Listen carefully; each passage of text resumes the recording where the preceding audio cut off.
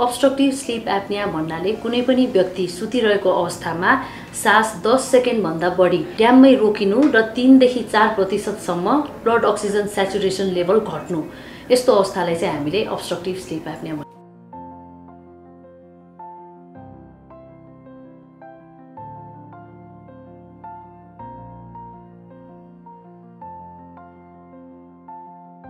कारक तत्त्वहरू विभिन्न छन् जसमध्ये सबैभन्दा विशेष भनेको चाहिँ मोटोपना। त्यस्तै गरेर मुखभित्रको जिब्रो अथवा टन्सिल र चाहिँ ल्यारिङ्सको बनावटहरूले गर्दाखेरि पनि यसमा चाहिँ धेरै असर पर्न जान्छ। त्यस्तै गरेर जिब्रो ठुलो भइदिने चिउँडो छोटो भइदिने त्यसै गरेर नाकभित्रको मासुहरू पलाउने नाकको भित्रको हड्डी बाङ्गिने यस्तो अवस्थाहरूले गर्दाखेरि चाहिँ हाम्रो अब्स्ट्रक्टिभ स्लिप एप्निया उत्पन्न हुनसक्छ अब्स्ट्रक्टिभ स्लिप एप्नियाका विभिन्न लक्षणहरू हुन्छन् जसमध्ये हामीले विशेष गरी अनियमित घुराइ त्यस्तै गरेर सुतेको समयमा चाहिँ बारम्बार सास रोकिरहने र चाहिँ निन्द्रामा बेचैन हुने ऐठन हुने त्यस्तै गरेर दिउँसोको विषय बेलामा चाहिँ अत्याधिक रूपमा चाहिँ निन्द्रा लागिरहने त्यसै गरेर बिहान उठ्दाखेरि टाउको भारी भइराख्ने टाउको दुख्ने त्यस्तै गरेर मानसिक चिन्ता बढ्ने छड्कोपनहरू बढ्ने मान्छेसँग झगडा परिराख्ने कमजोर एकाग्रता हुने सम्झना हराउने होइन? त्यस्तै गरेर चाहिँ झगडा पर्ने साथीभाइसँग झगडा परिराख्ने घाँटी दुख्ने र मुख सुक्खा हुने बिहान उठ्दाखेरिमा मुख चाहिँ विशेष गरी सुक्खा भइराख्ने। त्यसै गरेर घा रातिको बेलामा चाहिँ घरिघरि उठिराख्नुपर्ने अवस्था।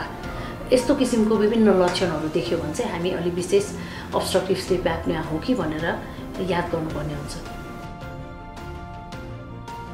बिरामीले कहिलेकाहीँ थाहा नपाउनु पनि सक्छ तर विशेष गरी यसमा चाहिँ बिरामीका वरिपरि सुत्ने मान्छेहरू जस्तो कि श्रीमान श्रीमती साथीभाइहरू त्यसै गरेर चाहिँ बिरामीको आफ्नो मान्छेहरू होइन र जस्तै गरेर चाहिँ अब कहिलेकाहीँ केटाकेटीहरूमा पनि देखा पर्ने भएको कारणले गर्दा बुबामा आमा आफैले पनि भन्न सक्नुहुन्छ।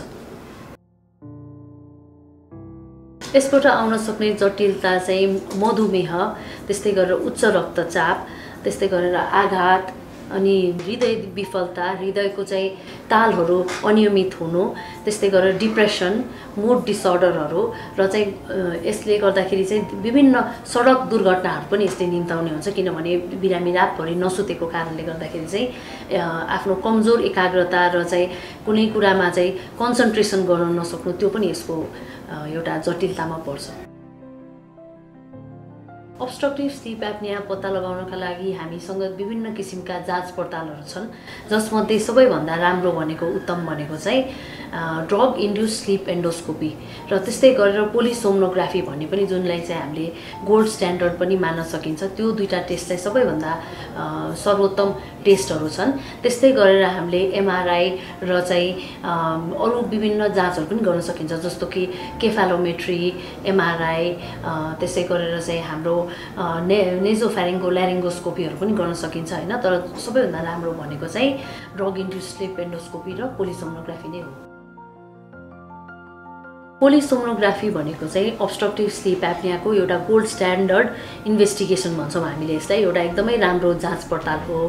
यसको लागि चाहिँ हामीले बिरामीलाई एक रात चाहिँ हस्पिटलमा सुताएर अनि उसको चाहिँ विभिन्न किसिमको टेस्टहरू गर्छौँ। जस्तो कि लिडहरू जोडेर इलेक्ट्रोनिस्ट्याग्मोग्राफी इलेक्ट्रो अक्युलोग्राफी त्यसै गरेर इलेक्ट्रोकार्डियोग्राफी अनि चेस्ट मुभमेन्ट एब्डोमिनल मुभमेन्ट होइन त्यसै गरेर खुट्टाहरू हल्लिएको नहल्लिएको र चाहिँ बिरामीको ब्लड अक्सिजन सेचुरेसन लेभल कतिको घट्दो रहेछ? बिरामीले घुरेको अवस्थामा चाहिँ ब्लड अक्सिजन सेचुरेसनमा चाहिँ के असर पर्दो रहेछ? त्यसै गरेर ब्लड प्रेसर के हुँदो रहेछ? पल्स के हुँदो रहेछ? त्यो सबै हामीले चाहिँ रेकर्ड राख्ने। होइन र चाहिँ विभिन्न स्टेजहरू हुन्छन्। हाम्रो निन्द्राको लागि एउटा आरामदायी निन्द्राको लागि हामीलाई विभिन्न स्टेजहरूमा पुग्नुपर्ने हुन्छ। त्यो विभिन्न स्टेजहरू चाहिँ बिरामी पुगेको छ कि छैन? र चाहिँ त्यसलाई चाहिँ हामीले यो जाँचको मार्फत चाहिँ हामीले हेरेर होइन क कतिको सिभियरिटी कस्तो हो बिरामीको चाहिँ होइन स्लिप एप्नियाको सिभियरिटी कस्तो हो माइल्ड खालको हो कि अथवा मोडरेट खालको हो कि अथवा सिभियर भनेको मतलब थोरै अथवा अलिकति बढी अथवा अझै बढी अथवा हुँदै होइन कि भन्ने कुरा त्यो चाहिँ मेन हामीले चाहिँ पत्ता लगाउने हो यो टेस्टको माध्यमबाट।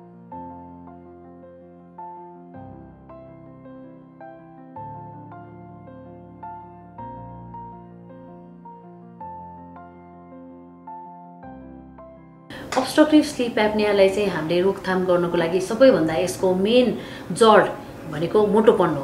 है त्यही भएर यो मोटोपनलाई चाहिँ हामीले सकेसम्म बिस प्रतिशतभन्दा घटाउने होइन सबैभन्दा त हामीले सजिलो भनेको त्यही नै हो। त्यो गर्न सकिन्छ। त्यसबाहेक चाहिँ हामीले पोलिसोमोग्राफी जाँच गरेर पहिला सुरु त अब डक्टर कहाँ जानु पऱ्यो होइन? नाक कान घाँटीको डक्टर कहाँ गएर हामीले चाहिँ हेर्नु पऱ्यो नाक कान घाँटीमा केही समस्याहरू छन् कि?